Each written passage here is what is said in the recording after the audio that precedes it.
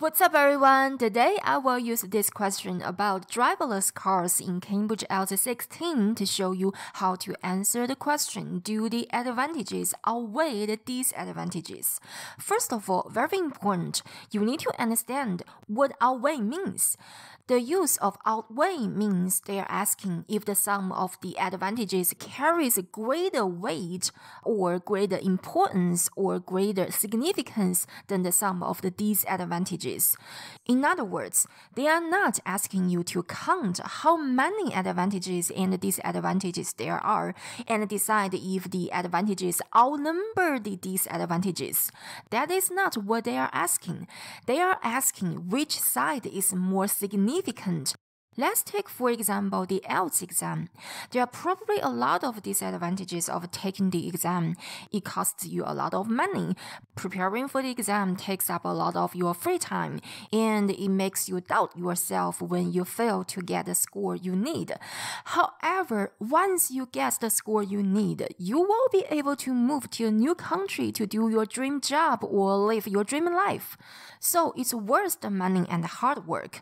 This advantage is so important. It carries a greater weight than all three disadvantages put together. Therefore, the advantages of taking the exam outweigh the disadvantages.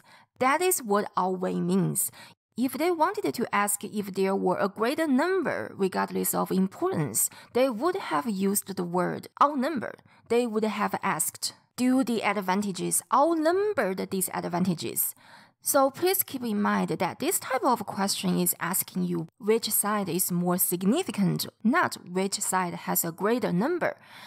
There is another type of question that asks what are the advantages and disadvantages? For this type of question, you definitely need to write more than one advantage and more than one disadvantage. Since the question uses the plural, advantages and disadvantages, they're asking what are the advantages and disadvantages. But for the outweigh type, I promise you, it's a hundred percent correct to give only one advantage and only one disadvantage.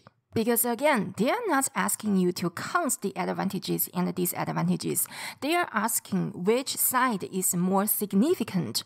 Of course, you can write more than one advantage and disadvantage, but I highly recommend that you write only one because in this way, each body paragraph will have only one main idea and you can fully develop your ideas. And meanwhile, don't write too many words.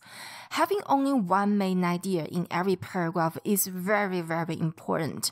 As you can see in my score explainer, one of the reasons why I got a 7 in the writing test is that in test 2, every paragraph has one main topic.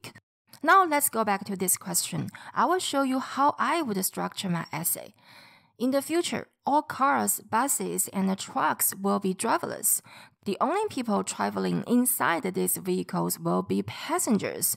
Do you think the advantages of driverless vehicles outweigh the disadvantages? So my opinion is that the advantages outweigh the disadvantages. In body paragraph 1, I will talk about the side that I disagree with, which is the disadvantages. Of course, there are many disadvantages of using driverless cars, but as I already explained, it's better to pick only one disadvantage to discuss.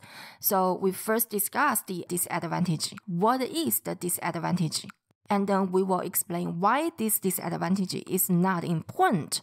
So I think one of the disadvantages of these cars is that they can lead to large employment losses.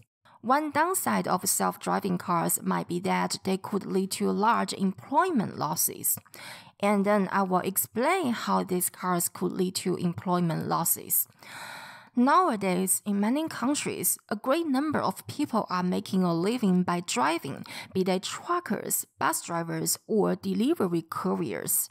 A delivery courier is someone who delivers, for example, your Amazon packages to your doorstep. Imagine all these people are made redundant by autonomous cars. That would raise the unemployment rates in these countries significantly.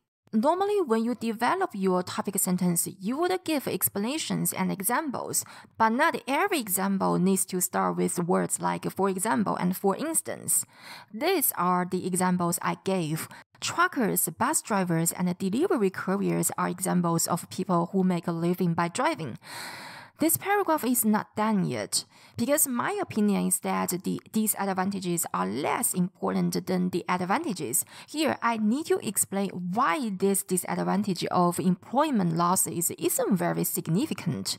Why isn't it a big deal? One way you can write this part is to offer a solution. If you can overcome this disadvantage, then it wouldn't be a big deal, would it? So, how can we solve the job losses caused by driverless cars?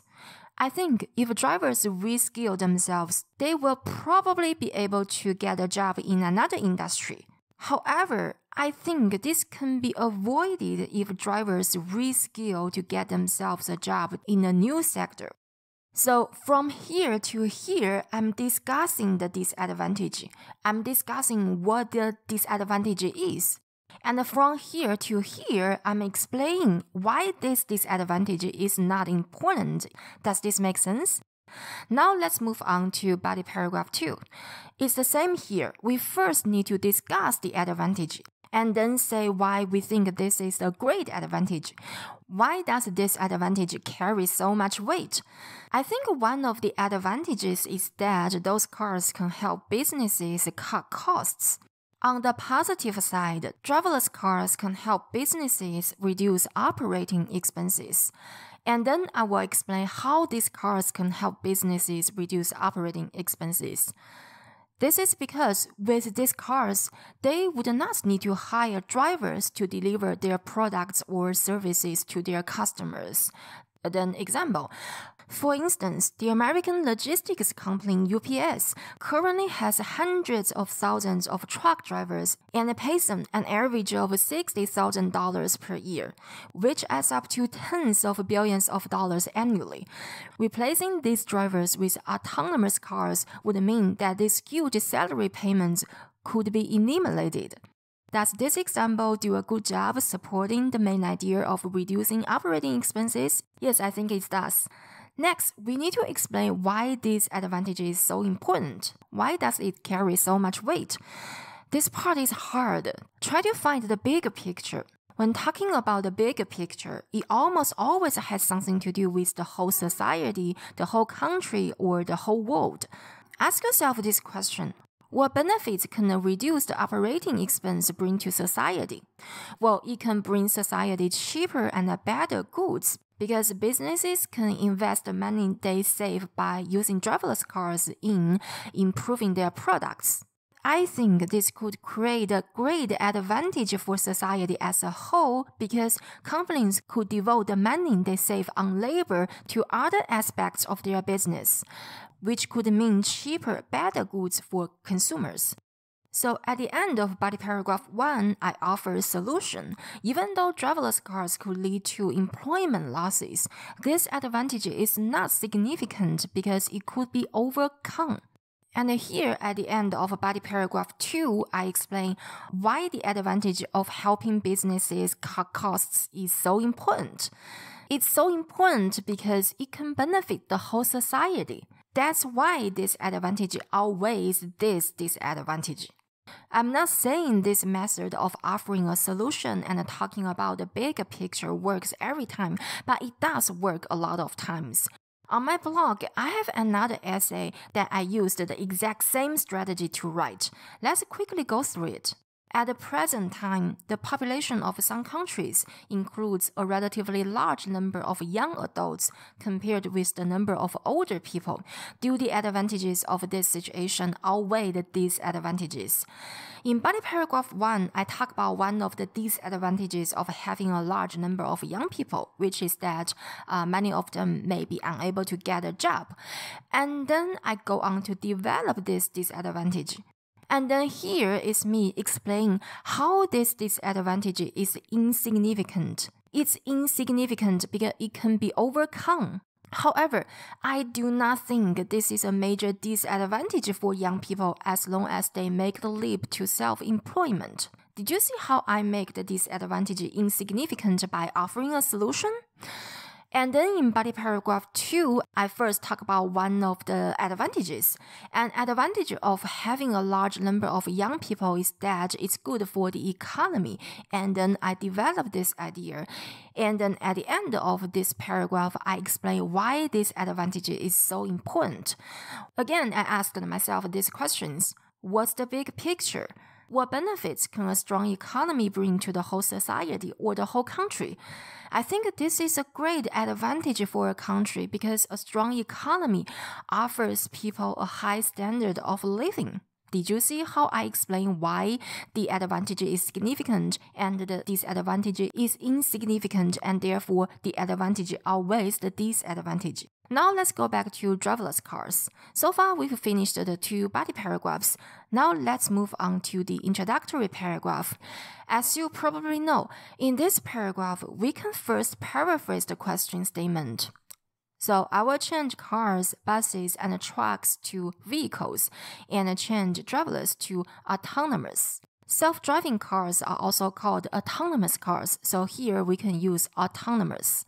In the future, all vehicles will be autonomous. For the second sentence, the only people traveling inside these vehicles will be passengers. I don't think it's even possible to change the individual words. So I will rearrange the sentence elements. I will move passengers to the beginning of the sentence. Passengers will be the only people inside these vehicles. Here, we don't need to repeat vehicles. We can use them to refer to the vehicles mentioned in the previous sentence. So, almost the same vocabulary, but different grammar. Next, I will give my opinion. You can include the two main ideas in your opinion sentence, or you can include only the main idea of the side that you agree with. I believe businesses can cut costs by using driverless cars, and this advantage far outweighs any potential disadvantages. This is my opinion, and this is the main idea of the side that I agree with.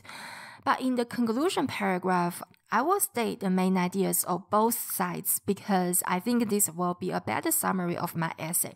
In conclusion, although self-driving vehicles could result in many job losses, I believe this downside is greatly outweighed by the upside that these vehicles could help businesses save operating costs.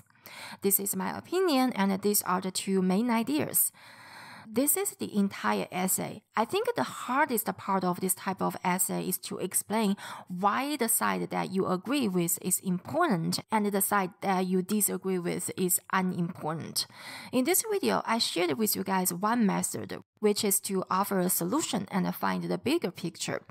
But you shouldn't expect to learn only one method and hope you can use it to answer all advantages outweigh disadvantages questions. I've published five essays of this type on my blog. The link is in the description. Definitely go to check them out so that you can have more flexibility when answering this type of question. That's all for this video. Here's another video in which I talk about how to answer causes and solutions questions. And if you found this video helpful, please give it a thumbs up and don't forget to subscribe to my channel. Thanks for watching. Bye!